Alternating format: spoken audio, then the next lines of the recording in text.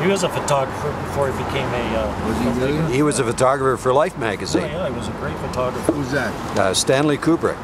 You know, he was a good guy with the with the visual images, which uh, obviously uh, continued. That was the Space Odyssey. He did the Space Odyssey. 2001 Space Odyssey, that's right. And he, he made a piece of music uh, very famous. Can you, can you name the piece? Also sprach Zarathustra. It's the, the op- you know, that theme, you know, when, when they open the movie. It's that, uh, I wasn't a big fan of. Uh, well, let's just talk about. You want to talk about what we're shooting? Talk about some of our favorite Kubrick films. well, we got some favorites. Uh, that's certainly one of them, 2001. Are you shooting now? That, Oh, of course. That didn't win any awards, did it? Did did it win an Academy Award? Yeah, special effects, No, that, art I think that was the one Academy Award that Kubrick won. My favorites are The Killing, Paths of Glory, which is either number one or two best anti-war film ever. Doctor Strangelove, Love that. Clockwork Orange, and then I love uh, Barry Lyndon. I didn't like Barry Lyndon the first time I saw it, but here's the interesting thing about Kubrick: he never won an Academy Award, No, that's except true. uh, yeah. maybe the special effects because he, yeah, but that was Doug Trumbull that won for he that. He shot all his films in London. It seems as though films today are all special. and They just go for special effects. Yeah, that's right. There's explosions and things, and it's- story does seems to be taking a back seat to all, all those things. Do There's only six that? or seven stories in the whole world. It's how- what you do with them. I think you're right, but I hear that all the time. That, that there's seven basic stories. I, I I don't understand. I'll that. name two. Sibling rivalry is one. The son kills the father is another one. Mm-hmm. You know, I don't. I can't remember the rest of them. Or the renegade Indians kill the the settlers' family, and he seeks revenge. Yeah, revenge. Yeah, there's a revenge movie. There's the buddy picture. Yeah, And, and there's also what what did they do? What did they just find out? What was the movie they found out was really a, a classic film? It was a very popular uh, movie. It got it was and it, it was really uh, direct steal from one of the Greek classics. Hmm. Just you, you don't you, you didn't read about that? My God, Harry, you must have missed a pamphlet. I miss a lot. No, you don't. Not when it comes So to much films. Man knows every film, why they are, what kind of bulbs they use, Yep. No, I don't have what those. the light bill No, David's the one who knows about film and camera. I don't know anything about that commissary stuff. tab is. He can remember when he was telling you about the camera and the thing you put in shooting these films. He knows all that technical thing. I don't. You don't know that?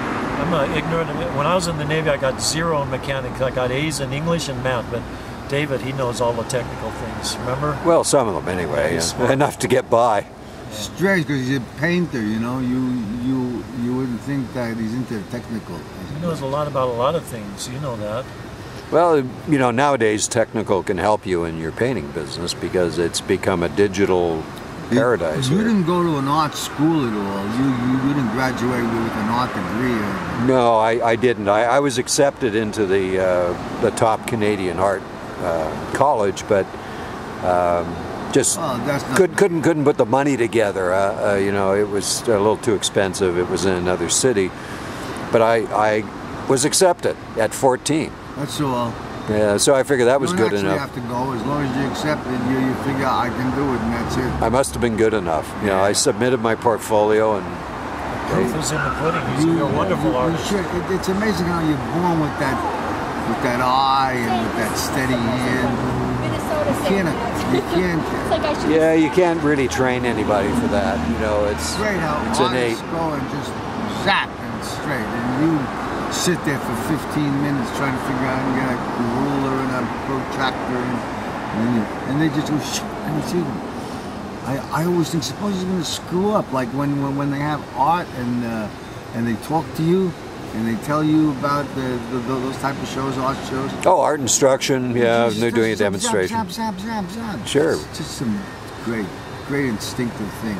Here's one thing I would like to ask you. I Mr. even Dunn. think that that that uh, that talent that you have to paint is the very power that the same power I think, if I'm making sense, that people have to appreciate it and see it. That same energy is in the painting, and it goes and inspires that type of thing. Yeah, it does actually. Uh, you're transferring your energy to to the viewer, and phenomenal. you, you know, I maybe uh, a, piano player. You know, I, I kind of envy a piano player that's really fantastic because I'd love to be able to do that, and I know that never in my lifetime could I play piano like that. And I'm surprised at how many people Sit down and just go. just go. And then in my case, as a painter, I'm surprised at how many people are uh, envious of that ability. No matter how rich they are or powerful they are, they, they said, boy, I'd give that up just to be able to do what you do for a, That's for right. a day, you know? Right. But you know what? What you just said there. When I was studying at Northridge, where I got my degree, my professor, one of the best poets to come out of LA, Ann Stanford, once she sent me a postcard. And it was two white cows, a fence in the middle, grass on each side. Each cow was trying to eat the grass on the other side. There you go. Grass always seems greener. But, On the other side, was, was that really true, or was No, that just a picture, stage picture? well, no, that's a saying, right? We've all heard that saying many Grass times. is always greener. That's right. No, but I mean, did you did, they, did you actually see a picture of that? Uh, Yeah, she sent me a postcard. Two white cows, Yeah. the fence, green grass, each one nibbling on the grass on yeah, the other but did one. they stage that? You think they put a little something out for the other cow to go? I Don't know. then why'd you bring it up, Harry? Can't back it up with facts and knowledge. But facts aren't what's important. You know, what's important is the context. It's true. You know what Einstein said? Einstein says, if I had one hour to save the world, I would spend 55 minutes trying to understand the context and the causes, and five minutes trying to solve it. So we have to understand. There's Mr. Joe Turkel who excelled on our last. He's walking by. So just just just finding out the. Furthermore, There's that golden voice, that woman. There- there he is. Get my get her. I'll get. I'll give her a call. Uh oh. Uh oh. There he is. Uh oh. There's Joe Turkel. Uh oh. He dropped by to interrupt or say something. Yeah. Tell him why Stanley is- Kubrick never got an Oscar. Tell him that right now. Just give up a little. of Joe should know. Are you going to pay me a thousand dollars? I'll pay you nine ninety nine. Done. Stanley never got an Oscar because the uh, the Directors Guild wouldn't give him one because he yeah because uh, he wouldn't uh, make his movies here. Ah, He went that's to right. Europe in 1961, spent 50 million dollars a movie, and uh, Why they, were, didn't he want- they want- were angry at him. I see, I see. it- Why why didn't he want? He said it was America was too violent. In 1961, he told me that when I went over to make The Shining. But he says, Joe, America is becoming very violent. And he says the quality of the of the men here, of the crew, are equal to that of Hollywood, equal to the best we have. Really? He says, yeah, if, if I had had to sacrifice any quality, I'd go back to America. But he said they're high quality people here and much, much less violence here than it is in America. And that's 1961. And he didn't have to pay residuals. And I, well, uh, he did, I know, I never got a quarter. I never got a quarter for all the times they played uh, Paths of Glory But see, Oh here's my what I heard about yeah. The. Shining. In Europe, Really? No never kidding. got a quarter. Oh, gee. in Europe, He lies. Gloria. Gloria is the queen of Sunset He Boulevard. lies. Glory of the Glow Girl. Glow girl. Hey, you're going to new phrase, glow Yeah. girl. You There's an got old a stripper, Glory of the Glow Girl. You're not photographed. You still filming? Absolutely, I am. Always filming. Camera's running. Camera is running. Yeah, we. Hold on. Pull back. I'm pulling back. and that, ladies All right, and gentlemen, guys. is all right. That's Joe about it. That- Turkel, And uh, another, words of another wisdom. director told me the exact same thing. His first director was a pretty big man. That's it, Joe. We'll never give him. We'll never That's give it, him. Joe. You- we'll never you- you give had him an Oscar. already. About three months later, a small little television director said the exact same thing. We'll never give him an Oscar. So he left America. And he's a Yeah. New York boy just like you. Bronx. Yeah. York. Really? Yeah, Bronx kid. Bronx His kid. allegiance should be to America. Is Bronx part of America? I never I thought we were an independent country. I, I think it is actually. I've All been right. there. I the uh, only one you say the Bronx. You don't say the Queens. yeah, it's the You Bronx, don't say the Brooklyn. and I pack my passport every time I go to Arthur Avenue. Cut. Rip it. Let me take a look. Can No, you, no, say I you can- can't You do can't. Joe. No. Well, you can see them. Oh, I see. Yeah, look, look at that. it? It's You've entered the CinemaScope. process. Now You're again, recurring uh. We're, we're shooting in widescreen HD. How do you like that? High High definition. definition. Yeah, yeah, that's great. right. Great. But now, now, as soon as he pays Now it you got off, another one from me, and you're still not going to pay me. Get the number of that Pasadena. I chick. will. I'll call you up. All Okay. right. All right. Let Take me know Joe. about Ian's condition. Okay. Okay. Okay. You know who Ian is? Ian No. Abercrombie. Abercrombie. Jesus he's Christ. a nice guy too. Yeah, Okay. that's a rough one. That's a wrap, Joe. Okay, Joe. I'm, I want to stay here and do some more. There's some. Oh yeah, it's it's captivating, isn't it? Thank you. I'll see you Everybody give a hand to Joe Hey, Turkel. Joe. Thank you, That's Joe wrap for Turkel. Joe. See you guys later.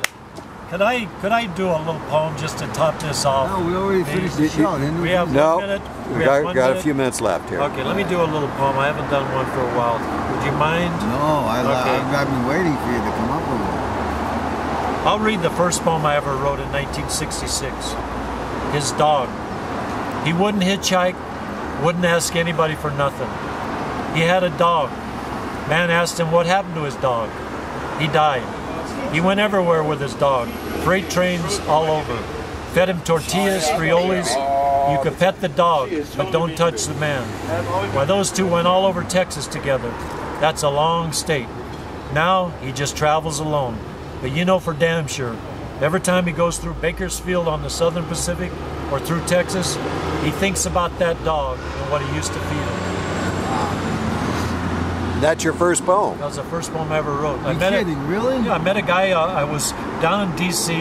with my brother. I took the bus back to uh, uh, New York, and I met this old guy. And he told me all his stories about his life, and this is one of his stories. And I went home and I typed out the first poem. Yeah, I like that line. You can pet the dog, but don't touch the man. Yeah, there you go. I love Well- that saying I saw it on the back of a car. I'd like to be the man my dog thinks I am. Oh, that might end up in one of uh, David's great cartoons. That's a great line. Uh, there you go. Yeah. See, Right the by words- Dog's word- World. The word's down and out long, and the dog looks at him like he's the greatest man in the world. Yeah. Well, they come home and they got the newspaper in their mouth for you, right? Ready to read it. Yep. Or your favorite loafer that they're chewing the heel out of. and they're warm. You know, they say people with animals, their stress levels 20% less. Oh yeah, yeah. That nonverbal communication. They're, they're calmer than we are. Oh yes. You know, and they, yeah, they when pull you- you, right down. When you pet, yeah, when you have an animal and you pet it and you have that nonverbal Oh, communication, right. your stress level is down 20%. Yeah, they use them for uh, people are ill and to even company. The dogs are amazing. Yeah, because you, you don't think about the IRS and the audit while you're pat, petting I your dog. You know. God, this happened when I we got this little puppy Chow. He came to the house the first day when we had a, a new carpet put in, and as a joke, I ran over to that puppy. He was running, and I stopped him right before he got on the carpet, and I said, "Sadie, not on the carpet. Yeah. Stay on." And you know, the rest of that dog's life, the 14 years he lived with us, she never, she'd run full blade, all of a sudden jam on the bricks and stop at that. That she knew not to go on I had the it, carpet. she had it that, always had a carpet. They hear sounds, right? The Oh, they- they loudness and all understand, that. yeah. So she associated some type of threat with go, go, going on that Sure. thing, right? Well, you know they they do understand uh, vocabulary. You you teach them, uh, uh, and they say the average dog's about 25 words. Some dogs a little higher on the vocabulary that they learn, and they know exactly what that means. So, I like the fur.